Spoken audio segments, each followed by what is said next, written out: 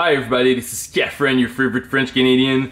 Today I'm going to do a small review on the new mouse that I just received, the Logitech G303 Wireless, uh, the Shroud Edition. So I was a big fan of the old G303. I took like three years to just find a proper mouse after uh, my G303. I think my left click broke. Um, so I went to Glorious with the Glorious O minus and now I'm using the MZ1. I really like it. So I, I was really hyped with this mouse and I got kind of surprised when I saw like the shape change a little bit and the design a little bit change, the size also change.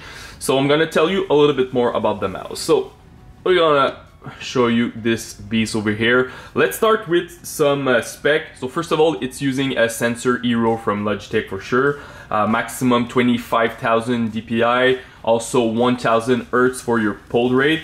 So the constant motion when you're using it, it, uh, it, it, has like an internal battery, it's 70 hours, so it's kind of like a decent. Um, for the size, it's 125 millimeter long with 63.5 millimeter for the width and the depth is 40 millimeter. The weight of this mouse, it's 75 gram and Yes, now you have the USB-C, so you don't have to use the proprietary uh, port from Logitech. So first of all, let's talk about uh, construction, like the build quality of this. It's pretty good. I don't have anything to say. No flex, no wobble when you move it. No also like weird feeling with the click, like you're feeling it, it's a double click when you're pressing it. It's really, really good. I don't have anything else to say about it. It's a very good mouse. When I want to talk about clicks, so left click and right click, for me it's tier S. It's amazing. I really like the clicks on this mouse. That's what I, I'm a big fan of my MZ1, but I'm not a huge fan of the clicks. And when I go back to Logitech, each time I'm using a Logitech mouse, I really like the way Logitech mouse click. So for me, it's really amazing.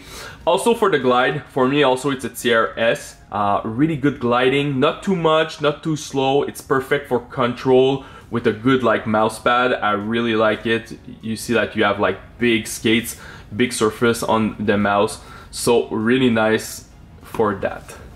Now let's talk about the elephant in the room. It's the shape that they change.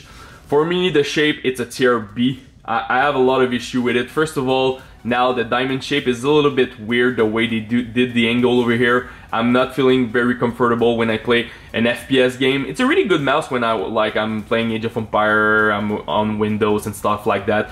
You have to be a claw gripper first of all. If you're palm gripping your mouse, forget about this mouse.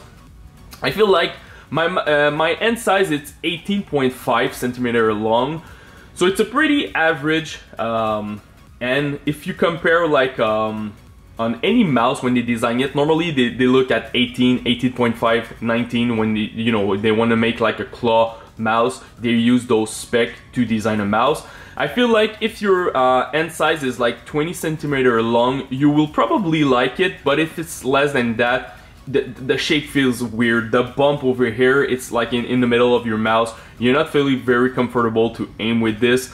Also the side button here it's very like um, loose and sensitive so I always like misclick my side button when I'm playing with this mouse. So honestly I'm not a huge fan of it. It's a little bit bigger. It it's not the same feeling than the G303 that I was using before. Uh, I, I play some uh, Call of Duty Warzone, some Battlefield also, and after that I compare it with my MZ1, and for sure I, I like my MZ1 is a lot better than this for the shape, more precise. I, I can like you know, just take my mouse fingertip or claw grip like very easily. This mouse is a little bit too big for me and also the weight is a little bit high. It's 75 gram. It's not a huge deal because the honestly the mouse is very well balanced with the gram so it feels like maybe like a 70 gram 68 gram mouse. It's not a huge deal honestly but uh, yeah that's pretty much it. Another thing that I want to mention you have like a small magnetic here that you can put your uh, dongle if you want. Uh, this I think weight like 4 or 5 grams so you can remove it if you want to uh, maybe lower a little bit the weight of your mouse but this is pretty much it It's a wireless mouse, so that's pretty amazing. Logitech wireless mouse are very good. I didn't see any input lag when I was clicking, moving and stuff like that. You have a small dongle that you can plug. I recommend to put your dongle near from your mouse to make sure that you don't have any interference. So you wanna make sure that you have the best performance from your mouse. But uh, this is pretty much it. One more thing that I want to mention, it's the mouse wheel. I know a lot of people don't like it. For me, it's I, I liked it. It's like like a very old school mouse wheel with like small click click for each one that when you're moving around. So for me, it's not a huge deal. It's one of my favorite also. Uh, I know a lot of people question like the, the way they design it, but for me, it's really good. The way you can click on it also, it feels very good. So nothing else to say about it. So really cool mouse, USB-C wireless and stuff. But for me at $169, the shape is a bit weird. Uh, for sure, it's not my, uh, it's not even in my top five for shape.